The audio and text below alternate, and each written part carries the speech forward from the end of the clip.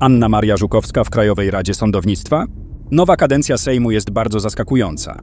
14 listopada podczas drugiego posiedzenia Sejmu odbyło się głosowanie dotyczące wyboru posłów członków Krajowej Rady Sądownictwa. Przystępujemy do głosowania.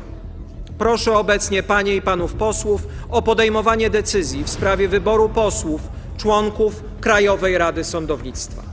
Sejm zdecydował i wybrał czterech posłów do Krajowej Rady Sądownictwa, w tym Annę Marię Żukowską. To zaskakujące, że posłanka uzyskała bezwzględną większość podczas tych wszystkich jej wypowiedzi i sprzeczności, które omawiane były już na tym kanale. W głosowaniu wzięło udział 457 posłów. Większość bezwzględna wynosiła 229 posłów. Pani poseł Kamila Gasiuk-Pichowicz uzyskała 246 głosów. Pan Tomasz Zimoch uzyskał 246 głosów.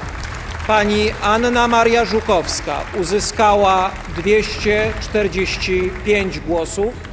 Przypomnijmy, co mówił Leszek Miller o Żukowskiej. W przypadku tej pani, nie po raz pierwszy zresztą, yy, milczenie nie jest złotem. Jest szansą. Przyznam się panu, że yy, z sympatią śledzę jej wstępowanie po drabinie ewolucji.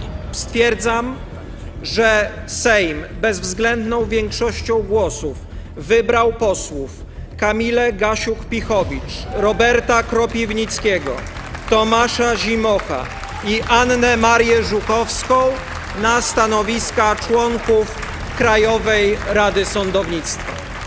Zgodnie z przepisami ustawy o Krajowej Radzie Sądownictwa, Sejm wybiera czterech członków Rady spośród posłów na okres czterech lat. Natomiast Senat dwóch członków spośród senatorów, również na okres czterech lat.